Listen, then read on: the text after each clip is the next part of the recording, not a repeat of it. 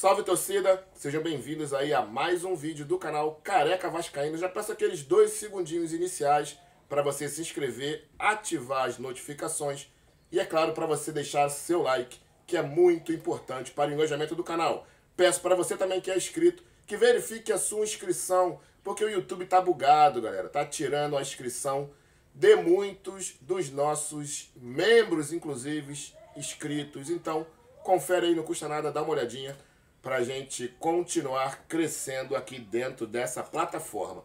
Para a gente entender essa ação dos irmãos Brito, né, do Walter e do Everton Brito, a gente vai entender agora a cronologia dos fatos. Vou explicar para vocês direitinho, baseado na ação, o que, que é importante a gente falar sobre a ação, o que aconteceu antes. É importante para a gente entender aí as liminares que aconteceram e a gente ficar craque nisso e mesmo se não tiver nada aí que a justiça tenha a acrescentar para nós, ela deve sim se explicar. Por isso que eu acho que essa ação do Dr. Walter Brito, ela é muito técnica, é uma ação que a gente vai ver aqui agora nesse vídeo. Vamos lá, galera, seguir aqui a cronologia dos fatos. No dia 5 do 9 de 2020, o presidente da Assembleia Geral emite um comunicado, né? É, dizendo que, cumprindo o disposto no inciso 2 do artigo 61 do Estatuto do Clube, designa o dia 7 de novembro, sábado, para a realização da Assembleia Geral Ordinária.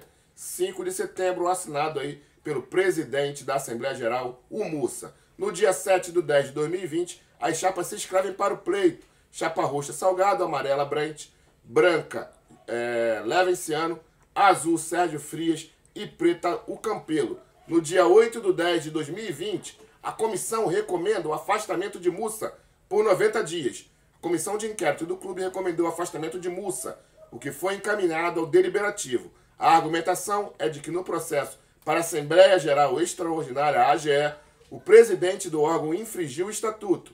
A contratação da empresa eleja online e o uso de cadastro de sócio foi contestada na ocasião. No dia 26 do 10, a juíza Kátia Silene concede uma liminar à Mussa e impede que ele seja afastado do cargo. O presidente da Assembleia Geral, Fábio Xerene Jassos, conseguiu uma liminar na justiça que impede que o Conselho Deliberativo vote na terça seu afastamento do cargo por 90 dias. No dia 27 do 10, o Deliberativo suspende Mussa por 90 dias, mas a liminar obtida por ele impede que ele seja afastado do cargo. O presidente da Assembleia Geral continua aí no seu cargo por uma liminar judicial. No dia 28 do 10, as chapas são protocoladas ali na secretaria.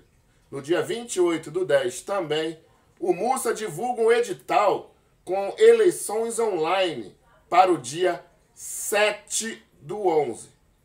Edital de convocação Assembleia Geral Ordinária online, 7 do 11 ele cita né, zelar pela incolumidade física e, e psíquica de seus integrantes, garantir a participação do maior número de sócios, Covid, blá blá blá blá blá blá blá blá blá.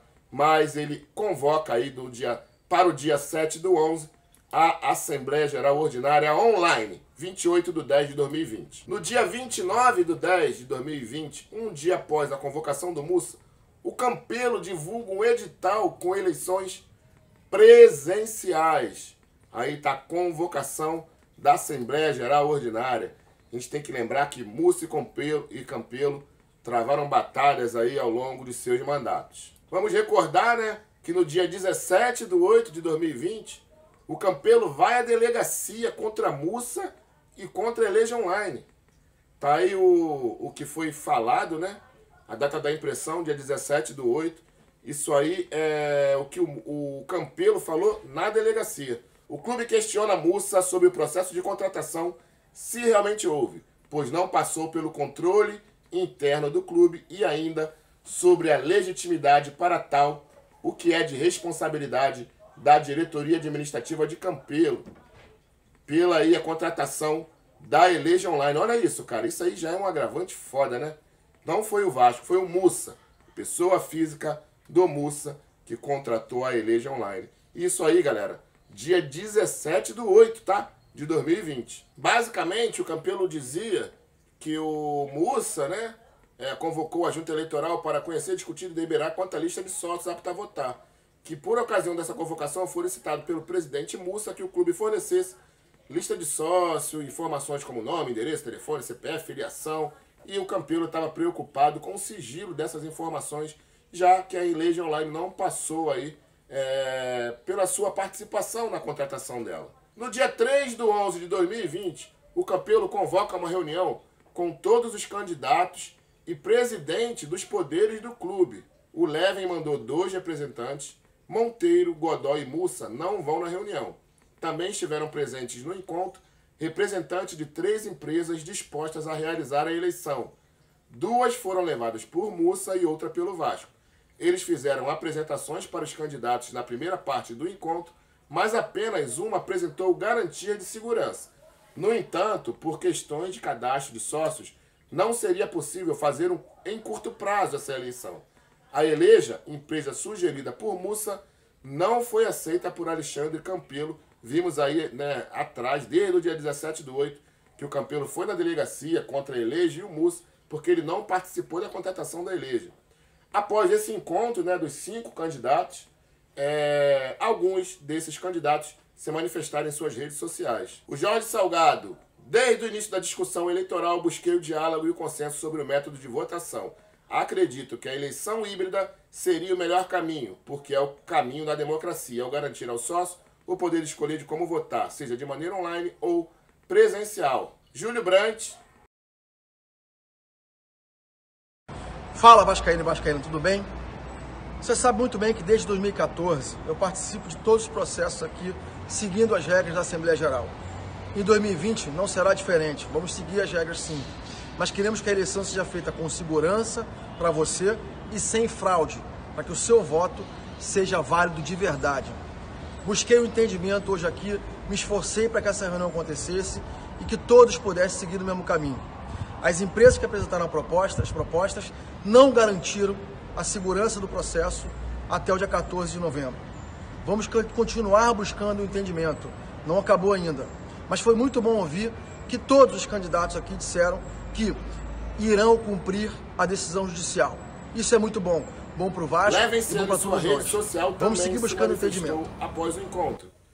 Vascaínos, no intuito de continuar buscando a construção de um entendimento conjunto de todas as chapas que permita ao Vasco uma eleição segura, obedecendo ao estatuto do clube e fora da agenda do Poder Judiciário, enviamos dois experts em TI para a reunião, onde foram apresentadas possíveis soluções para a realização da eleição de forma híbrida no Vasco.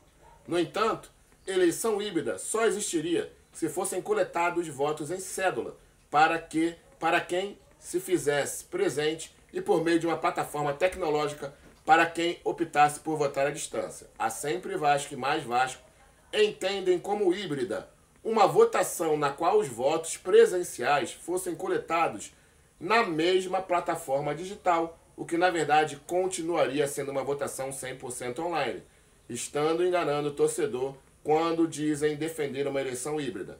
Duas empresas apresentaram suas soluções, Tafne e Bivote. A segunda empresa, Bivote, deixou bem claro na sua apresentação que não faz mais esse tipo de eleição, apenas disponibiliza um software para que o Vasco assuma toda a responsabilidade quanto ao processo, algo que nos parece totalmente inapropriado, visto que o clube não possui expertise para isso e o tempo para a eleição é muito curto.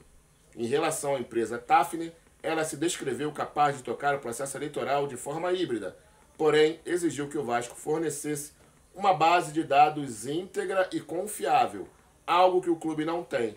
Na base de dados do clube, aproximadamente 40% não tem e-mail ou celular, quanto aos outros 60% restantes não estão checados, podendo haver ainda dentro desse grupo vários eleitores com dados inconsistentes e errados.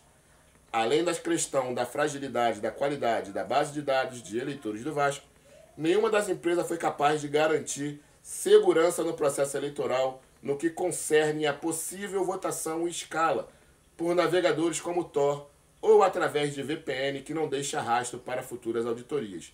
Esse é um ponto extremamente preocupante, pois um processo eleitoral com tal vulnerabilidade e incapaz de ser rastreado abre um risco enorme para fraudes.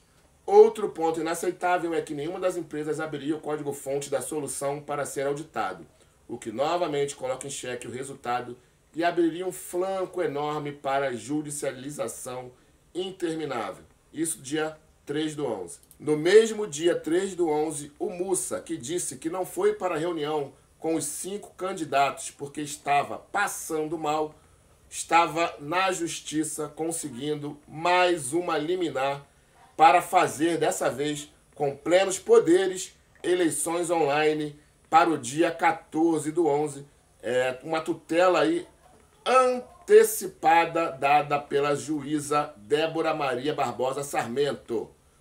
Vamos ver a decisão dela aqui. Assim, defiro a tutela antecedente de urgência para autorizar a realização da AGO eleições do dia 14 de 11 de 2020 de forma online, devendo o autor, na qualidade de presidente da Assembleia Geral, o Mussa, se substituir aos demais órgãos da administração do clube e executar todos os atos necessários à realização da, ref da referida AGO relacionados nos itens 1 e 4 da petição inicial aditada.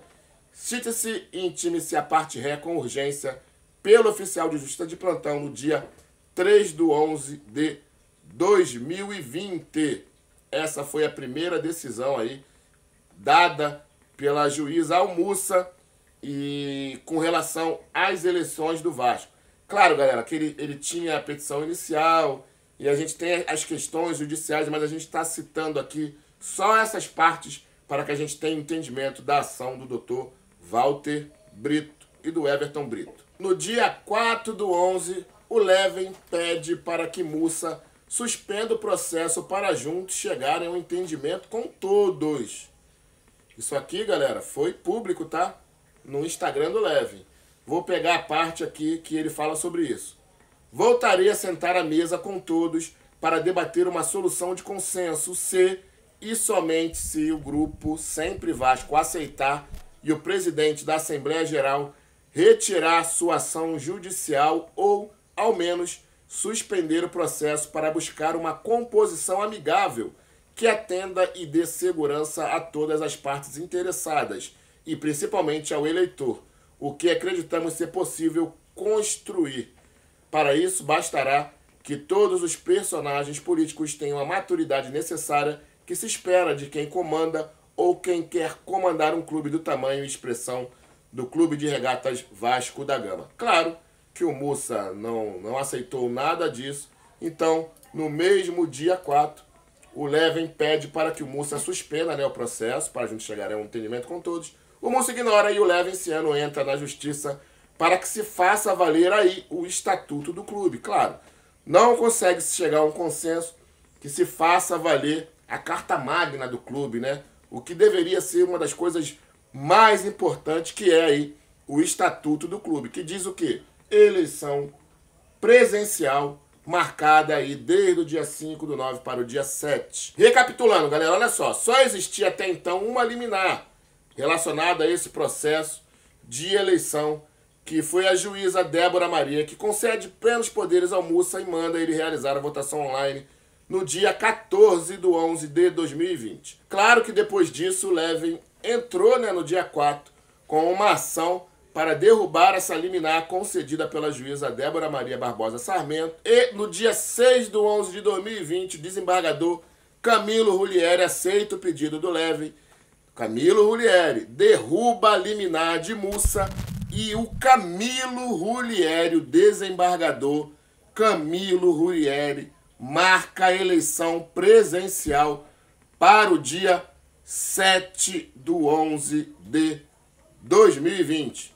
Ele cita aí o Estatuto do Clube, a SMS, Secretaria Municipal de Saúde, que já autorizou a realização da Assembleia, observando o protocolo sanitário, e ele, portanto, diz que deve prevalecer a regra estatutária observando os protocolos sanitários para a realização da AGO, eleição presencial designada para 7 de 11 de 2020. Então a gente tinha a decisão da Débora Maria Barbosa Sarmento, que dava plenos poderes ao Múcio, mandando ele realizar a eleição online. O desembargador Camilo Rulieri, de forma monocrática derruba essa decisão.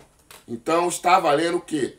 A decisão do Dr. Camilo Rulieri. No mesmo dia 6, alguns candidatos vão aí em suas redes sociais comentar a decisão do desembargador. Vamos ver aí o campelão da massa, na época presidente do clube.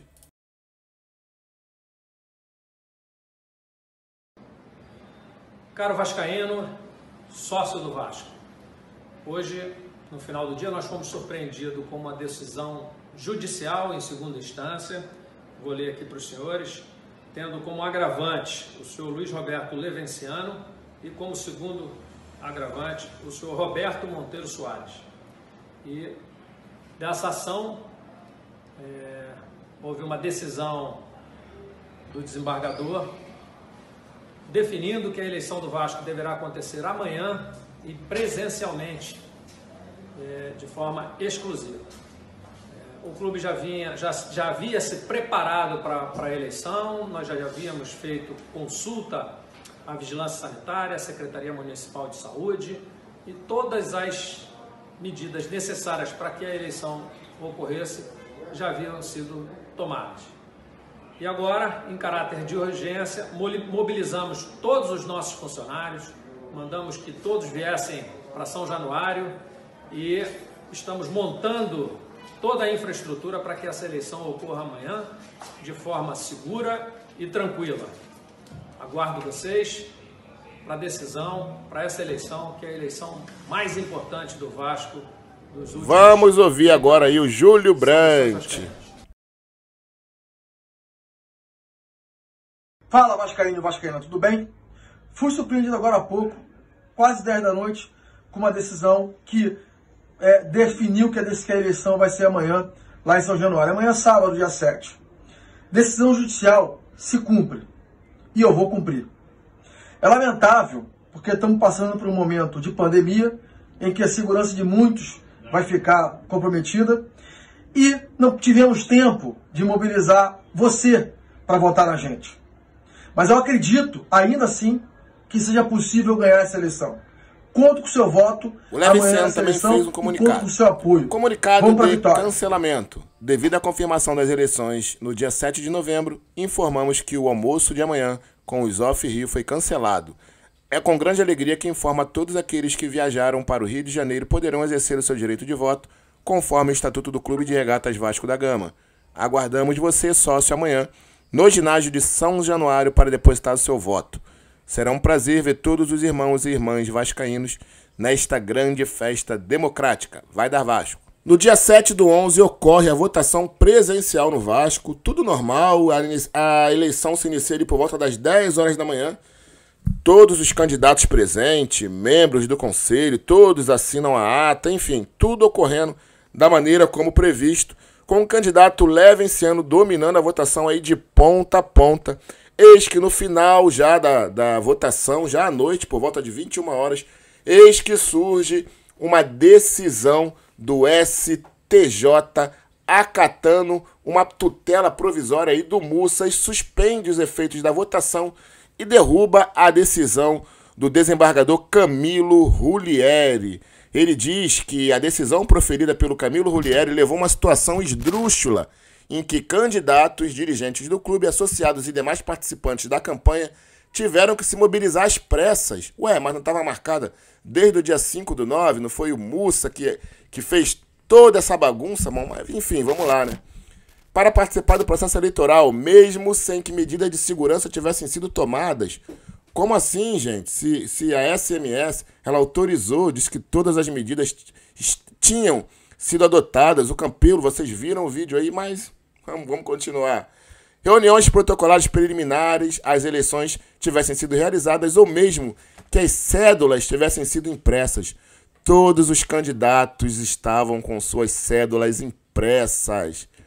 Mas enfim, uma decisão é, esdrúxula, essa sim foi uma decisão esdrúxula do presidente do STJ, o ministro Humberto Martins. Ele derrubou né, a decisão monocrática do Camilo Rulieri, suspendeu os efeitos da votação e ele trouxe à tona mais uma vez aí aquela tutela antecipada antecedente da juíza Débora Maria Barbosa Sarmento, que deu plenos poderes ao Mussa e possibilitou a realização da eleição do dia 14 do 11. No dia 9 do 11 de 2020, termina o regime extraordinário de plantão no, no STJ e mesmo assim o ministro e presidente do STJ não distribui a sua decisão, ele segura essa decisão ou ele esquece, enfim, não sei. Eu só sei que essa decisão só vai à mão do relator no sábado. Vamos continuar aqui. No dia 10 do 11, o Mussa convoca eleições híbridas. Híbridas entre aspas, porque é online, né? É online.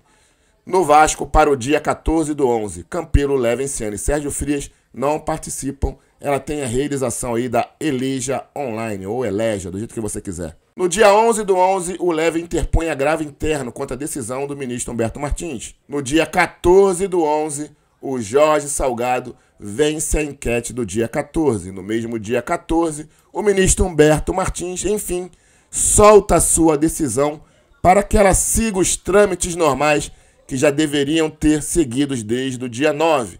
Mas ele só solta essa decisão para o relator no dia 14 do 11. O relator é o ministro Ricardo Vilas Boas Cueva. No mesmo dia, 14 do 11, o ministro relator ele extingue a decisão de Humberto Martins. Antes, vou dar, vou dar uma lida aqui na decisão, não vou ela, ler ela toda não, tá, galera? Antes exposto do provimento ao presente agravo interno para, reconsiderando a decisão ora impugnada, indeferir o pedido de tutela de urgência e determino a extinção liminar do presente pedido de tutela provisória do MUSA. Ficam prejudicados os demais pedidos de reconsideração juntados ao AUT. Publique-se, intime-se arquive-se. Brasília, 14 de novembro de 2020. Ministro Ricardo Vilas Boas Cueva é o relator. Então ele extinguiu, ele eliminou, ele apagou do mapa a decisão irregular do ministro presidente do STJ, Humberto Martins. Se ele retirou essa decisão, como que teve eleição no dia 14, meus amigos? Como? Essa decisão, ela tem que produzir efeitos e ela não produz. Galera, eu vou tentar explicar de uma forma bem simples, apesar do Walter Brito já ter explicado isso de uma forma bem clara. Essa ação rescisória, ela cabe para corrigir um erro de um outro processo que já foi transitado e julgado. Uma decisão judicial, ela deve produzir efeitos. Ela pede que a decisão dada pelo STJ, através do ministro Ricardo Vilas Boas Cueva, produza efeitos, seja efetiva. E que a decisão extinta do ministro Humberto Martins, presidente do STJ, não produza efeito nenhum, já que o acordo anulado não pode produzir efeitos. É isso. É bem simples da gente entender. Ele não trata de eleição do dia 7, que é válida, ou do dia 14, que não é válida. Não. Nada disso.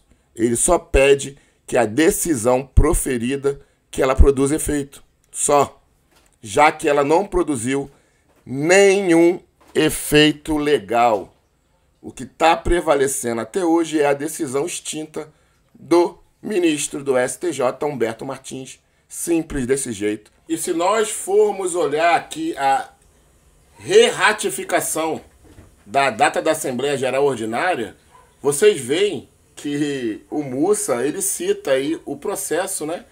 A decisão proferida nos autos do processo, número tal, da juíza Débora Maria Barbosa Sarmento, e ele cita também que foi corroborada pela tutela provisória número 2020-232. Como assim que ele cita esses dois processos, sendo que a decisão da juíza Débora ela foi derrubada através da liminar do desembargador Camilo Rulieri. Como que ele cita a tutela provisória número 2020/232 se ela foi extinta pelo relator, o ministro Ricardo Vilas Boas Cueva. Então é isso aí que a justiça terá que explicar. Galera, na moral mesmo, cara, se vai dar bom, se vai dar ruim, eu não sei. Mas eu quero ver qual a explicação da justiça para isso. Como que uma ação que foi extinta produz efeito até hoje, já que a eleição do dia 14 ela some do mapa quando o desembargador Camilo Rulieri derruba a decisão da juíza Débora. E eu não sei no que, que isso vai dar não, mas eu espero que a justiça é, tenha, traga aí uma solução para tudo isso. Parabéns aí o doutor Walter Brito e ao seu irmão, ao Everton, que é sócio do Vasco. Galera, vamos nos tornar sócio estatutário, porque se o Everton ele não fosse sócio, ele não poderia produzir essa ação aí. Né? A única maneira da gente conseguir lutar pelos nossos direitos, lutar em prol do nosso clube, e alguma coisa precisa ser feita. A gente tem que fazer isso, galera. Se você pode, se você tem condições, pense com carinho, se, só, se torne um sócio estatutário para a gente poder lutar contra tudo de errado que a gente vê dentro do Clube de Regatas Vasco da Gama. Valeu, galera. Vamos aguardar aí para a gente ver o que, que vai sair dessa ação rescisória. Tamo junto, um forte abraço a todos. Se inscreva, deixe seu like aí no vídeo. Tamo junto, galera. Um forte abraço, hein? Fui mas depois eu volto.